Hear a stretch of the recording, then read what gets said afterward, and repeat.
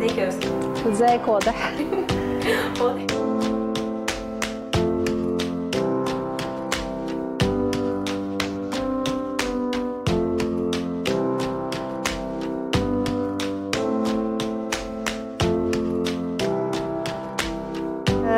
والله هو الحقيقة أنا ما اخترتش التمثيل. بص هو هي جملة كليشيه قوي قوي. بقعد اهزر لما بتكلم مع أهلي في الموضوع هو التمثيل اللي اختارني. بمعنى إن أنا أنا أصلا فعليا من جوايا بحب الباليه أكتر.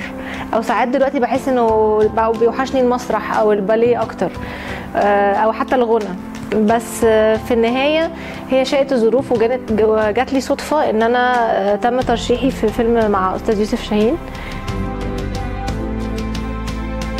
كان عنده سمة مهمة جدا إن هو كان من المخرجين اللي مش دايما يقعد عند ال monitor بعيد عن الممثل الأكشن من بعيد لو في لحظة مهمة دراميا أو هو عايز نظرة عين معينة أو إحساس معين كان يقعد هو جنب الكاميرا ويقول لك بصي في عينيا. وهو عينيه كانت كبيرة معبرة جدا فحتى إن أنا ما كانش عندي خبرة جامدة فده كان بيساعد كتير إن هو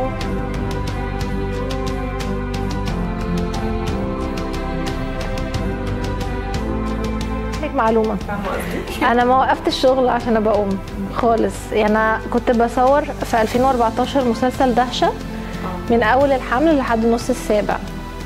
فكنت بصور طول فترة الحمل. وبعدين لما بنتي اتولدت بعدها بالظبط ب 40 يوم أو 45 يوم اتعرض عليا إن أنا أقدم برنامج اسمه ميكروفون اللي هو أنا وأمير صلاح الدين بنقدم فرق موسيقية وكده. وكان طبعا ظروف تصويره صعبة بس كانت أسهل من المسلسلات والأفلام. يعني في الوقت ده ما كنتش أقدر أعمل مسلسل رمضاني مثلا. لأن ما أقدرش كل يوم أبقى موجودة في ال location 18 و20 ساعة عشان معايا طفلة رضيعة.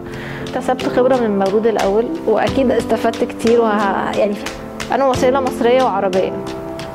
حتى لما هسافر بره صعب قوي أوصل للي وصلت له هنا أو اللي ممكن أوصل له هنا لأن في الآخر أنا هنا ده دي بلدي ودي ثقافتي ودي لغتي. فأنا أكيد هوصل للجمهور اللي من بلدي أكتر ما هوصل للجمهور الأمريكاني أو الدنماركي أو الفرنساوي. حتى لو بتكلم اللغة كتير وه... يعني في حاجات ما كنتش أعرفها أكيد هطبقها في المولود التاني. بس هو أنا حاليا بصور ثلاث حاجات. فات ابتديت فيلم اسمه العنكبوت. ده إخراج أستاذ أحمد نادر جلال وبطولة أحمد السقا ومنى زكي وظافر العابدين وأنا وريم مصطفى. تانية بقى مسلسل لما بدأت تصويره اسمه اطمني بس هو دلوقتي بقى اسمه طاقة حب. هم غيروا اسمه الأسبوع اللي فات قبل ما يتعرض على طول. المسلسل ده كان المفروض آه، هيتعرض على آه، website من الحاجات اللي هي اونلاين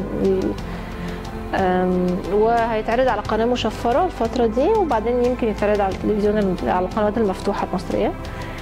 معرفش لسه كل التفاصيل بس أعتقد ابتدى يتعرض اونلاين من كام يوم. بس أنا كنت بصور فما لحقتش أشوف حاجة.